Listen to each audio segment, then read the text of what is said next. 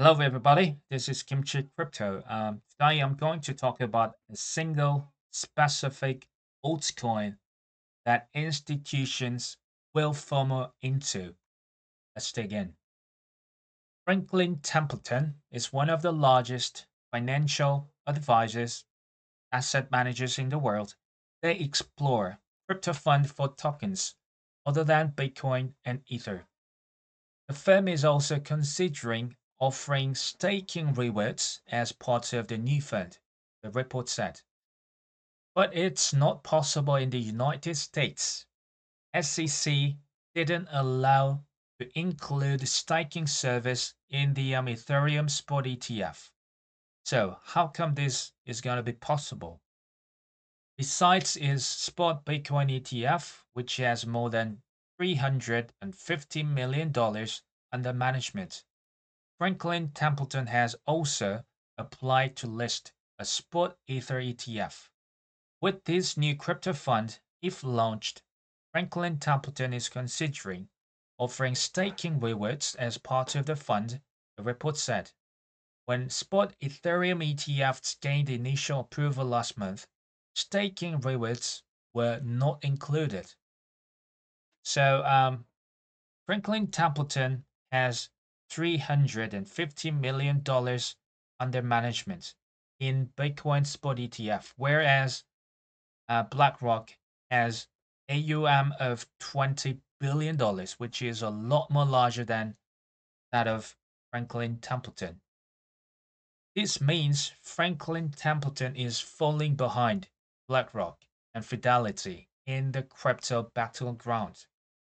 While Franklin Templeton's spot Bitcoin ETF success pales in comparison to the products offered by BlackRock and Fidelity, so this firm is keen to expand its digital assets business outside the US.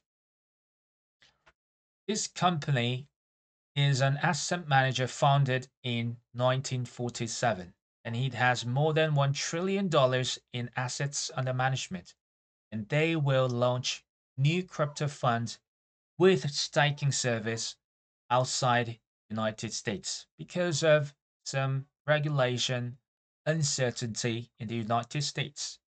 77-year-old financial giant goes all in in crypto now.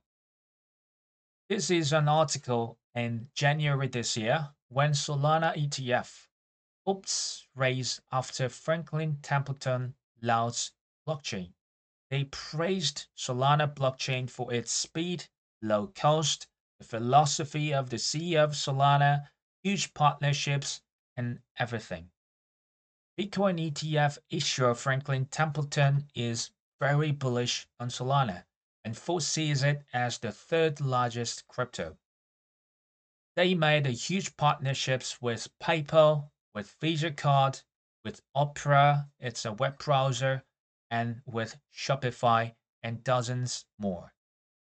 So in terms of partnerships, in terms of crypto market cap or staking rewards ratio of 7% per year and possibility of spot Solana ETF next year, because of some high speed, low cost number of community, number of development activities, and Solana survived the worst bear market in 2022. And love call comes from Wall Street giants like, you know, for now, Franklin Templeton, but many will join this race. So I believe Solana should be included in your portfolio. Not only this cycle, but next cycle as well. Solana should be in our retirement portfolio 7% yields plus a huge price potential to the upside. Big institutions, global institutions love yields. That's why they buy US treasuries to make yields. Solana provides them 6.8% annualized yields. So Solana price will soar a lot more in the next five years, in the next 10 years, it will go 10x, 20, 30x with this 7% yield. So it's my basic plan to take profits most of those altcoins next year and buy as many Bitcoins, Ethereums, and Solanas as possible. Not next year, but in 2026. We don't know when to bottom, when to top, but that's my plan. Just buy, accumulate as many Bitcoins, Ethereums, and Solanas as possible. And Solana, and especially Ethereum, Solana will provide you, you know, 3%, 7% yields, you know, for, for your retirement life. What's your plan? Thank you for listening.